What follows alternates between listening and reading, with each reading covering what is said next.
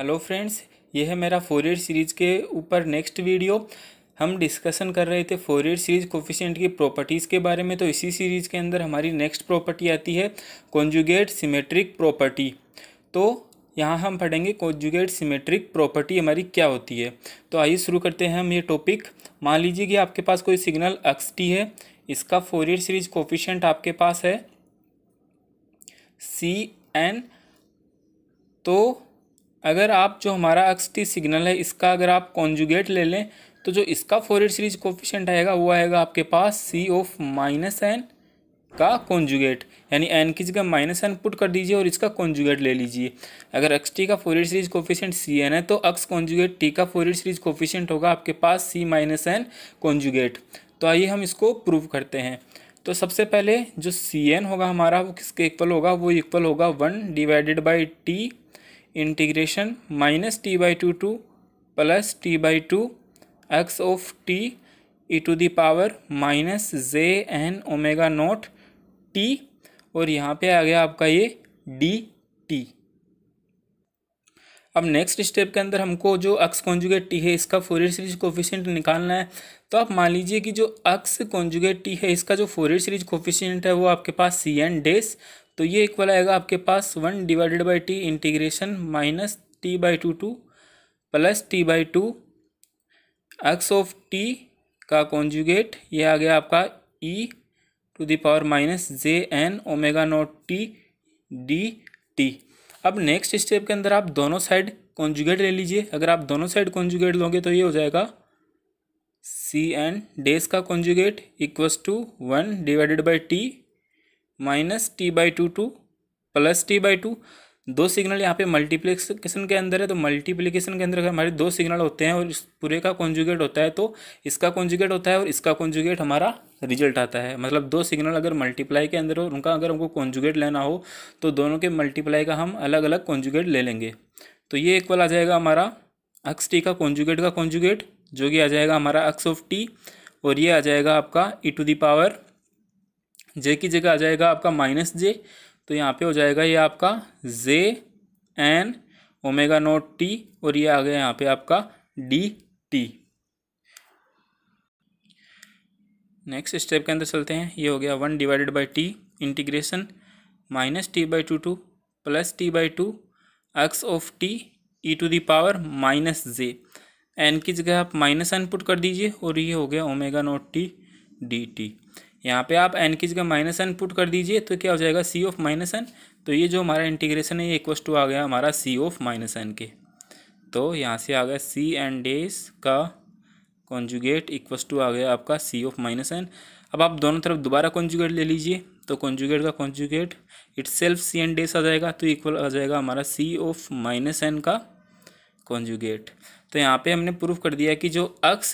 Conjugate T है, इसका Fourier series coefficient आएगा आपके पास c of minus n conjugate तो कॉन्जुगेट इन टाइम डोमेन का मतलब हो गया कॉन्जुगेट सी एन का कॉन्जुगेट और इसका रिवर्सल यानी एन की जगह माइनस एन और जो Fourier series coefficient of c n आ रहा है, इसका कॉन्जुगेट और एन की जगह आपको पुट कर देना है माइनस एन इससे पहले हमने एक प्रॉपर्टी पढ़ी थी टाइम रिवर्सल प्रॉपर्टी, जिसके अंदर हमने कहा था कि अगर एक कोई सिग्नल एक्स टी है, जिसका फोरियर सीरीज़ कोफिशिएंट आपके पास सी एन है तो जो एक्स ऑफ़ माइनस टी होगा, इसका जो फोरियर सीरीज़ कोफिशिएंट आएगा आपके पास, वो आएगा सी ऑफ़ माइनस एन। और यहाँ पे हमने कॉन्जुगेशन प्रॉपर्टी पढ़ी है, जहाँ पे एक्स टी का कॉन्जुगेट ले रहे हैं हम तो इसका फोरियर सीरीज़ कोफिशिएंट आ रहा है c of minus n conjugate. अब इन दोनों प्रॉपर्टी से हम कुछ और रिज़ल्ट यहाँ पे बनाने वाले हैं जो कि हमारे बहुत ही इंपॉर्टेंट है, जो गेट एग्ज़ाम के अंदर भी बहुत बार पूछे जाते हैं। तो आइए इन दोनों प्रॉपर्टीज़ को मिला के हम कुछ नए रिज़ल्ट बनाते हैं। हम लेते हैं केस फ़र्स्ट जिसके अंदर हम बोलते हैं कि जो हमारा अक्सटी सिग्नल है, वो हमारा रियल सिग्नल है। रियल सिग्नल होने का मतलब जो एक्स ऑफ़ कॉन्जुगेट टी आएगा, वो इक्वस टू आएगा हमारा एक्स ऑफ़ टी तो जो यहाँ पे एक्स ऑफ़ कॉन्जुगेट टी का फोरियर सीरीज़ कोफिशेंट होगा आपका सी माइनस एन कॉन्जुगेट और इसका फोरियर सीरीज़ कोफिशेंट होगा आपका सी ऑफ़ एन तो यहाँ से हम कह सकते हैं कि जो सी ऑफ़ एन आएगा, वो इक्वस टू आएगा सी ऑफ़ माइनस एन का कॉन्जुगेट के। या अगर हम दोनों साइड कॉन्जुगेट ले लें तो जो सी एन का कॉन्जुगेट इक्वस टू आएगा, वो आएगा सी ऑफ़ माइनस एन यानी अगर हमारा कोई सिग्नल रियल सिग्नल होता है तो वहाँ पे जो सी एन का कॉन्जुगेट होता है, वो सी ऑफ़ माइनस एन के इक्वल होता है। ये हमारा आ गया रिज़ल्ट नंबर फ़र्स्ट यहाँ पे हमने केवल कॉन्जुगेट प्रॉपर्टी ही यूज़ में ली है। अब हम बात करते हैं केस सेकंड की। केस सेकंड के अंदर हम एक्स टी को अज्यूम कर रहे हैं कि ये रियल भी है, इसके साथ ये इवन भी है। तो सबसे पहले रियल रियल होने का मतलब है कि अगर हम एक्स टी का कॉन्जुगेट ले लें तो इट सेल्फ क्या आ जाएगा? एक्स टी आ जाएगा, क्योंकि एक्स टी हमारा एक रियल सिग्नल है। इवन होने का मतलब x of minus t equals to आएगा एक्स ऑफ़ टी के इवन होने का मतलब ये होता है, ये हमारा रियल होने का मतलब। अब जो इसका फोर सीरीज़ कोफिशियंट आएगा, वो आएगा c of minus n conjugate और जो इसका फोर सीरीज़ कोफिशियंट आएगा आपके पास, वो आएगा सी ऑफ़ एन तो ये दोनों होंगे आपके इक्वल और यहाँ पे इसका फोर सीरीज़ कोफिशियंट आएगा आपका सी ऑफ़ माइनस एन और इसका फोर सीरीज़ कोफिशियंट आएगा आपके पास सी एन तो ये दोनों हो गए आपके यहाँ से इक्वल अब नेक्स्ट स्टेप के अंदर आप क्या कीजिए कि इसका लीजिए आप कॉन्जुगेट तो यहाँ पे जो सी ऑफ़ माइनस एन है, वो इक्वस टू आ गया आपका सी एन का कॉन्जुगेट और यहाँ से सी ऑफ़ माइनस एन है आपका सी एन के इक्वल तो यहाँ से हम बोल सकते हैं कि जो सी एन का कॉन्जुगेट है, वो आ गया हमारे पास सी एन इसका मतलब ये हो गया कि अगर सी एन का कॉन्जुगेट सी एन के इक्वस टू आ रहा है, इसका मतलब ये है कि जो हमारा सी एन है, वो भी हमारा रियल है और c of minus n equals to c n आ रहा है। इसका मतलब जो सी एन है हमारा, वो ईवन है। तो इसका मतलब अगर एक्स टी हमारा रियल प्लस ईवन होता है तो जो सी एन होता है हमारा, वो भी आता है रियल प्लस ईवन इससे पता चल गया कि हमको जो सी एन है वो रियल है, इससे पता चल गया कि हमको सी एन है जो वो है ईवन यहाँ रियल यहाँ ईवन तो ये हो गया हमारा फ़र्स्ट केस नंबर सेकेंड जब हक्स टी हमारा रियल प्लस ईवन है तो जो सी एन है, उसके बारे में हमने कुछ इन्फॉर्मेशन यहाँ पे फाइंड की है. अब बात करते हैं हम केस थ्री की. केस थ्री के अंदर हमने माना है कि जो एक्स टी है हमारा, वो रियल और ओड है. तो रियल होने का मतलब एक्स ऑफ़ टी का कॉन्जुगेट इक्वस टू आएगा आपके पास. एक्स ऑफ़ टी और ओड होने का मतलब है x of minus t equals to आएगा आपके पास माइनस ऑफ़ एक्स टी तो यहाँ पे जो इसका फोर सीरीज़ कोफिशेंट है, वो आ गया आपके पास सी ऑफ़ माइनस एन का कॉन्जुगेट और ये इक्वस टू आ गया आपके पास सी ऑफ़ एन के। और यहाँ से ये हो गया सी ऑफ़ माइनस एन और ये इक्वस टू आ गया माइनस ऑफ़ सी एन के। यहाँ से आप दोबारा कॉन्जुगेट लीजिए तो ये हो गया c of minus n equals to आ गया आपके पास सी एन का कॉन्जुगेट और यहाँ से जो सी ऑफ़ माइनस एन वो माइनस सी एन तो यहाँ पे सी ऑफ़ माइनस एन की जगह पुट कर दीजिए। तो ये इक्वस टू आ गया आपका सी एन कॉन्जुगेट तो यहाँ से आप बोल सकते हैं कि जो सी एन का कॉन्जुगेट है, वो इक्वस टू आ गया आपके पास माइनस ऑफ़ सी एन और c of minus n equals to आ गया माइनस ऑफ़ सी एन तो इसका मतलब हो गया इसका मतलब हो गया कि जो सी एन है वो हमारा ओड है और इसका मतलब हो गया कि जो सी एन है हमारा वो प्योरली इमेजनरी है। क्योंकि प्योरली इमेजनरी होगा तभी माइनस बाहर आएगा जैसे कोई सी एन इक्वस टू आ गया आपके पास टू जे और अगर सी एन कॉन्जुगेट लेते हैं माइनस टू जे तो ये किसके इक्वल आ गया? माइनस ऑफ़ सी एन तो ये सी एन का conjugate minus of c n के इक्वल कब आएगा? जब सी एन हमारा कॉम्प्ल जो सब सी एन हमारा केवल ही इमेजनरी हो। तो यहाँ से हम कह सकते हैं कि अगर एक्स टी हमारा रियल प्लस ओड है तो जो सी एन होगा हमारा वो आएगा प्योरली इमेजनरी प्लस ओड तो जो सी एन आ गया वो हमारा, वो आ गया इमेजनरी प्लस ओड ये हो गया आपका case number second sorry case number third अब लेते हैं हम केस नंबर फोर जहाँ पे हम बोलते हैं कि जो एक्स टी है वो इमेजनरी है प्लस ईवन है. इमेजनरी होने का मतलब एक्स ऑफ़ टी का जो कॉन्जुगेट आएगा आपके पास, वो आएगा आपका माइनस ऑफ़ एक्स टी, और इवन होने का मतलब हो गया एक्स ऑफ़ जो माइनस टी है, वो इक्वस टू आएगा आपका एक्स ऑफ़ टी के।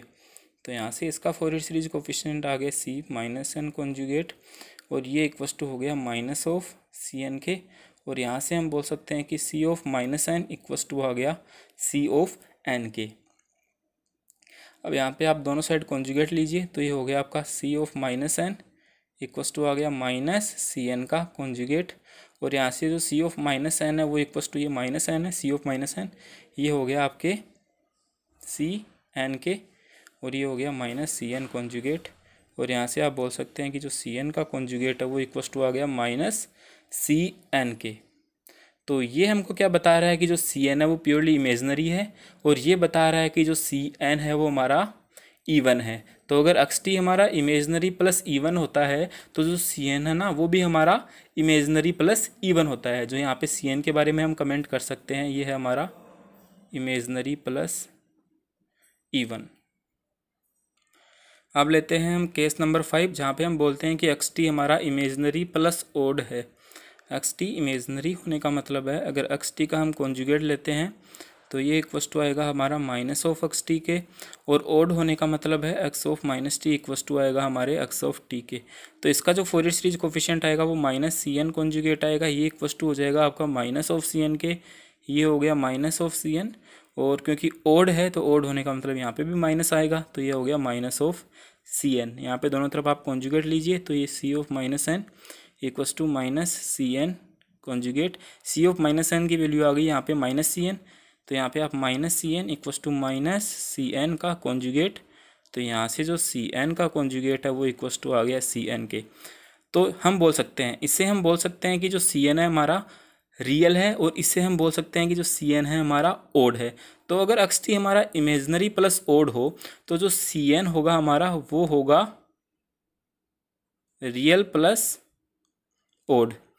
तो ये थे हमारे कुछ पाँच केसेस जिसके अंदर हमने एक्स टी के बारे में कुछ कमेंट किया और हमको सी एन के बारे में पता चल गया। इसका रिवर्स भी ट्रू है। अगर हमको कोई बोल दे कि C N imaginary plus even है तो हम बोल सकते हैं कि एक्स टी हमारा इमेजनरी प्लस ईवन है। और अगर सी एन हमारा रियल प्लस ओड है तो हम बोल सकते हैं कि जो एक्स टी है, वो हमारा इमेजनरी प्लस ओड है। तो ये प्रॉपर्टी अगर आपको याद होगी तो आपको जो क्वेश्चन है, वो सोल्व करने में आसानी होगी। कई बार क्वेश्चन में पूछ लेता है कि